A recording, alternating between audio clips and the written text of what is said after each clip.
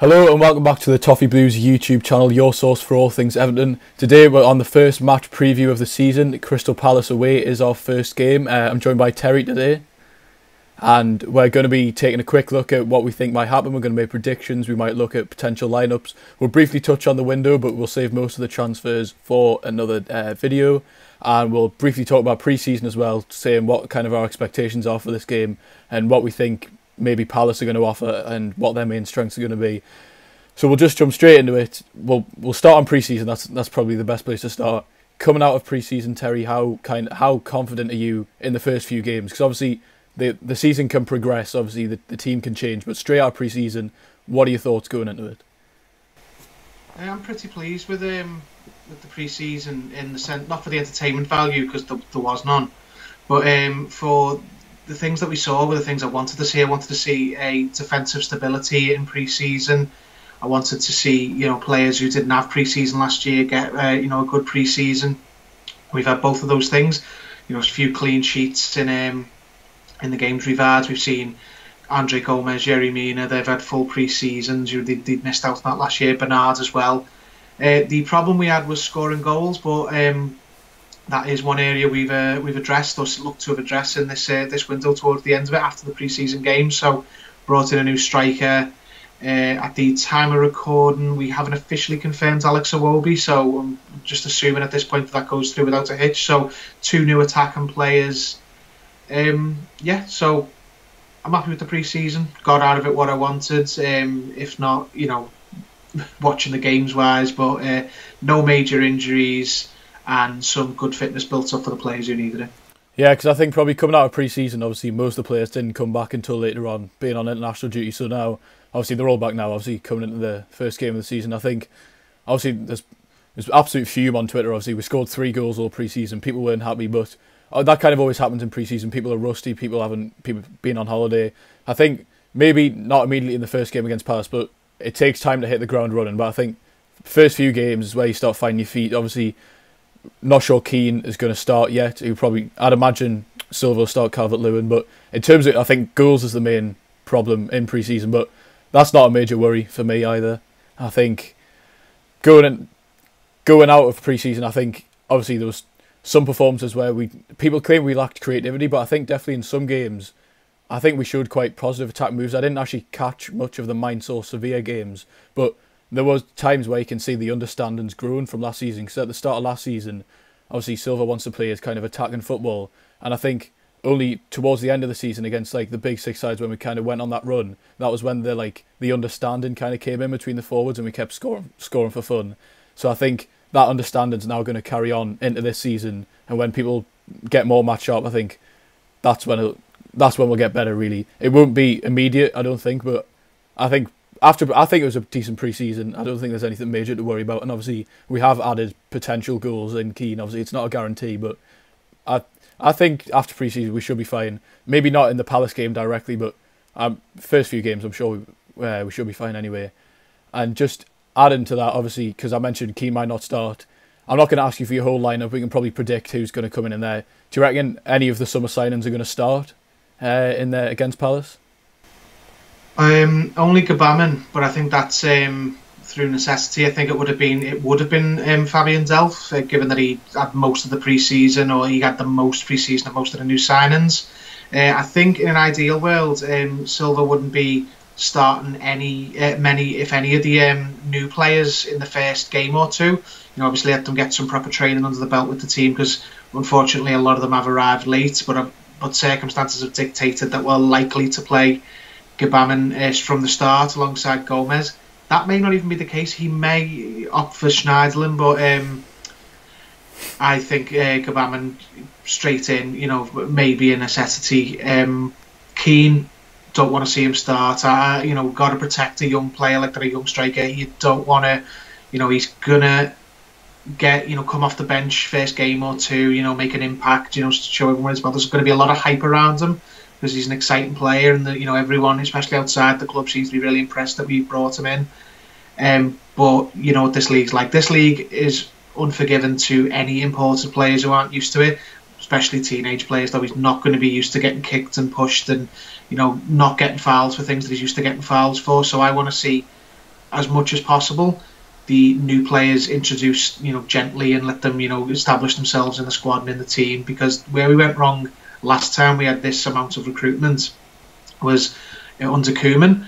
Now that that was it wasn't the only problem because a lot of it was, you know, um, unbalanced recruitment. And you know, different positions um, were bought for at the wrong time and too many in one position. But we threw seven signings into the team at once. Seven new players, over half the team when we did that recruitment under Koeman was all in on the first game, all seven players.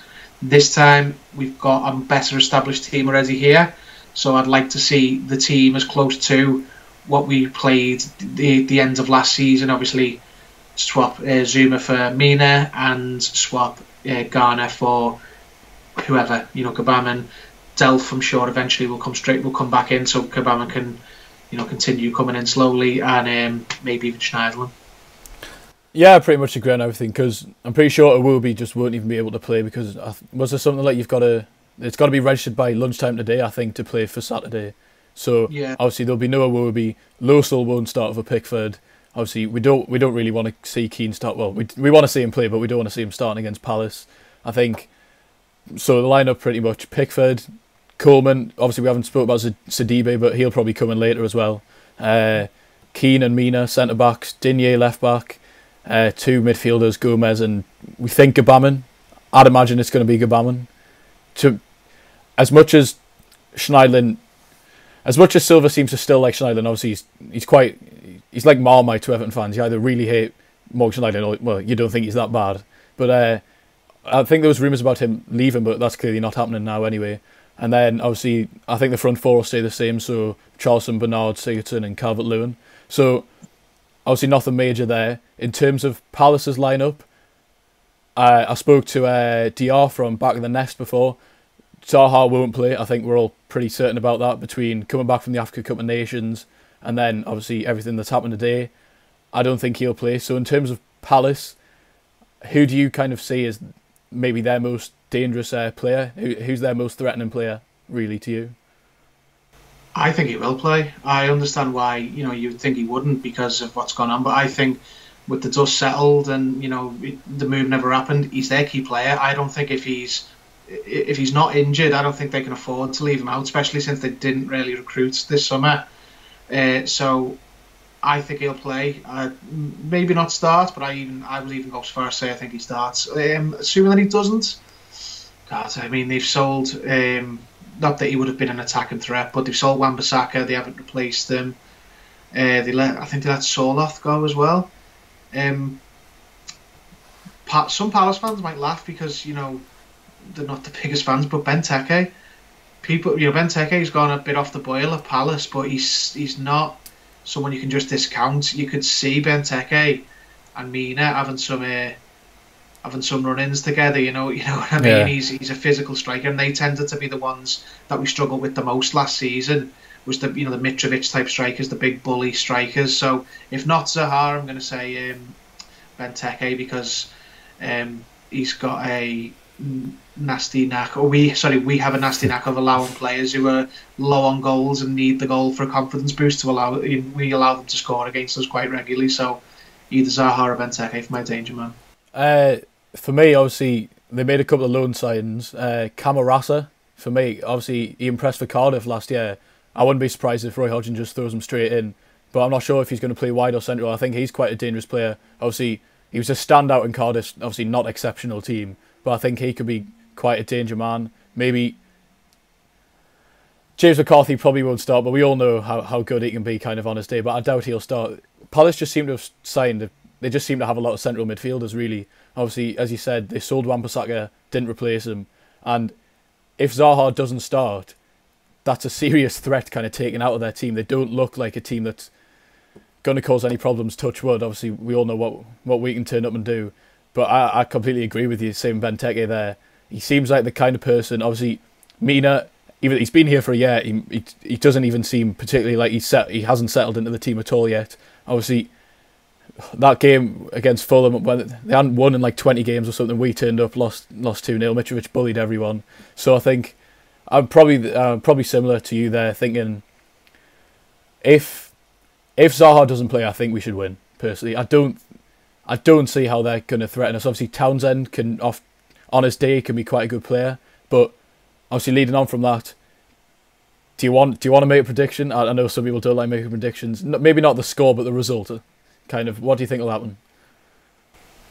Uh, I'm going to go for an Everton win. I mean, it's a horrible, horrible um, thing predicting the first game of the season.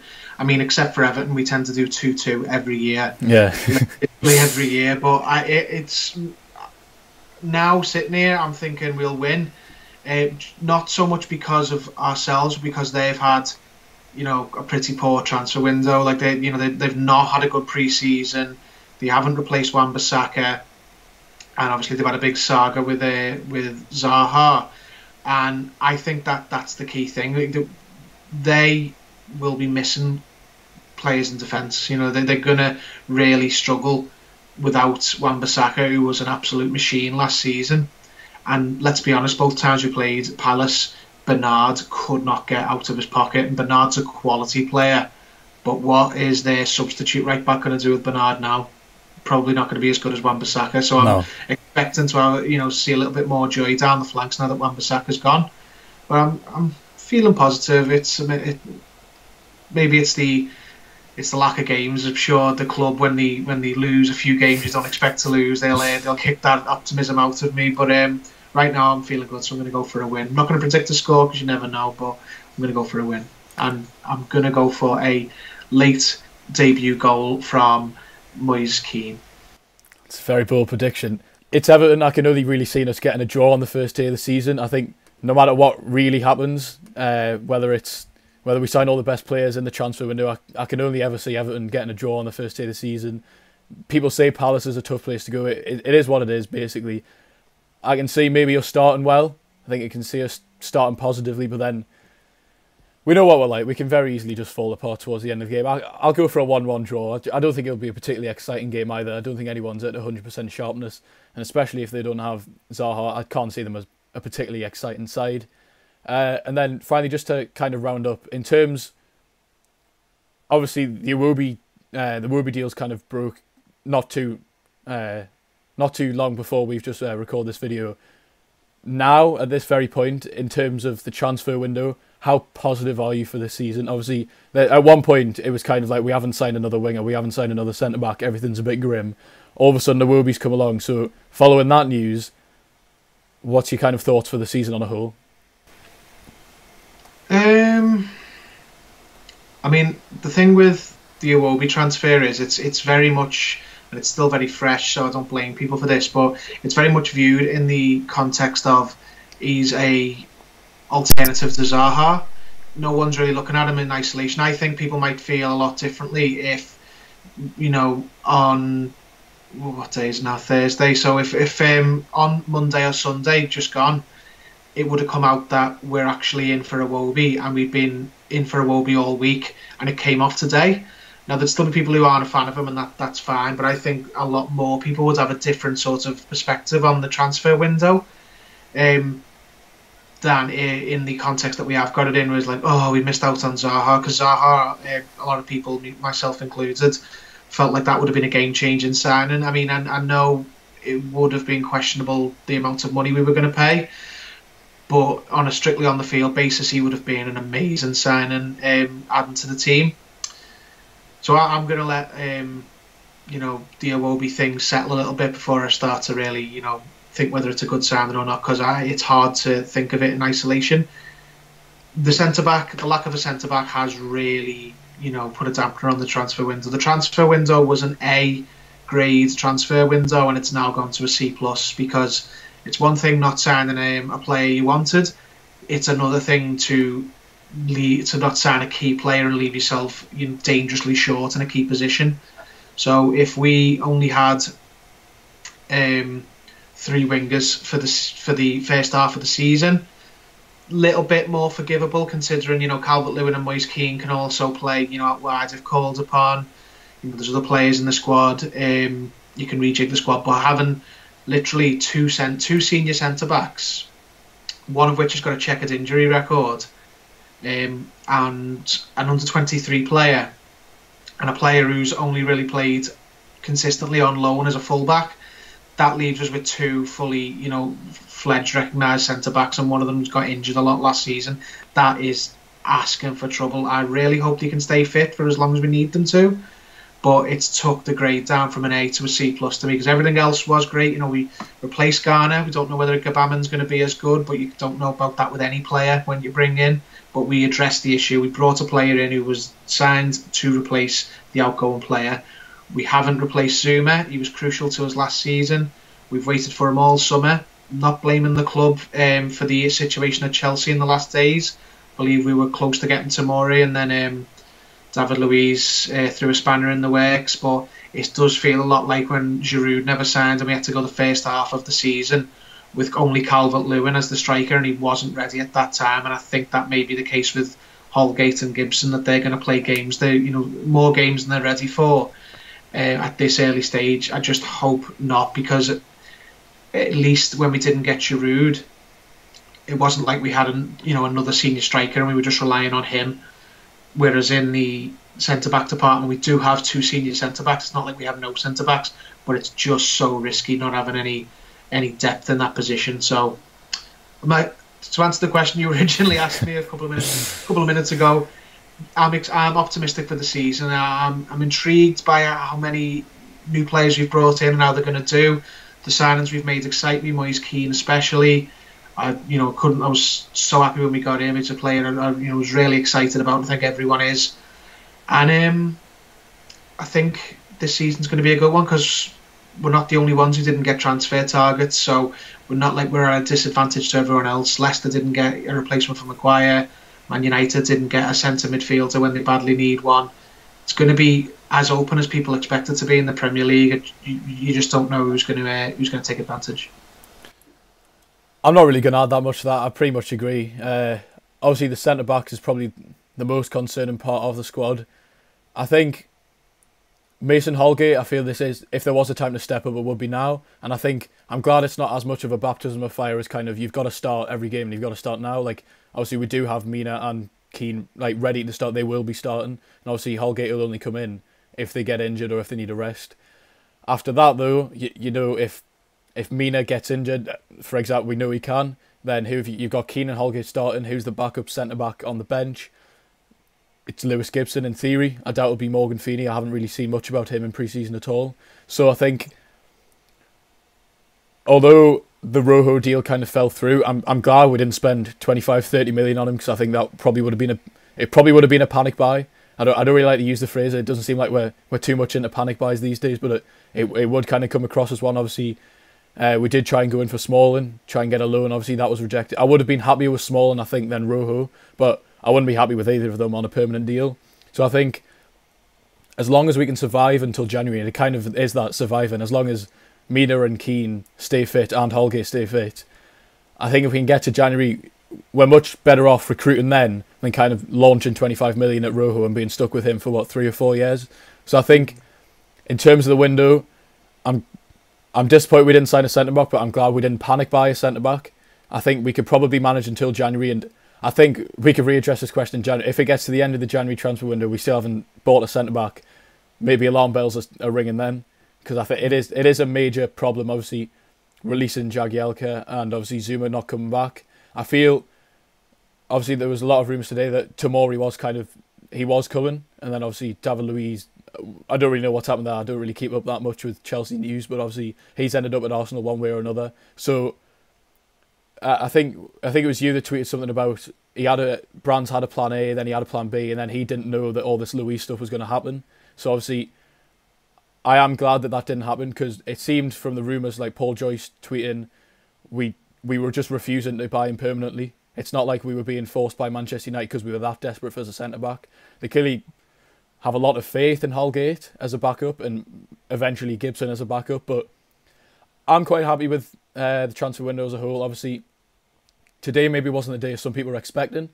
Uh, obviously, Zaha and Zouma, well, they were still there. I, I kind of presume we weren't getting Zouma for quite a while now. I think that was quite obvious with kind of what Lampard was saying, what he was saying. I don't think anyone really wanted to go. I think everyone got a bit excited over the hashtag free Zouma thing, even though obviously that was that was never happening. That was never you know official. But I'm quite happy with the transfer window. I think we're we're definitely we're sorted until January. We've addressed I think the major problem in our team was striker, and we've addressed that.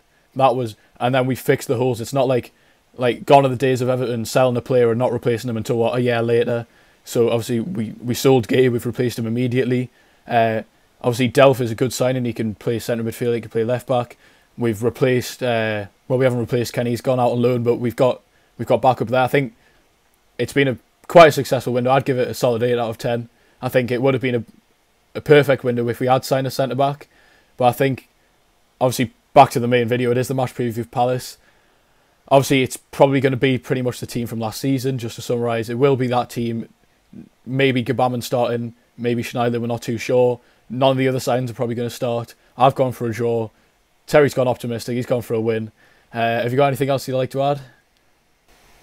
No, no. Just um, I think it's just important to remember that as frustrating as it was to not get a centre back, and as much as I'm sure everyone would have liked one, um, Marcel he arrived, he's not the man to do things in one season. He's got to think of the long term picture. And frankly, if the choice was 25 million for Marcos Rojo, or wait and you know white knuckle it and see if we can get through till January, I'm fine with with with white knuckling it. It may cost us, but you know what I mean. Like when we didn't have a striker and it got to January last time, we bought Tosun and Walcott.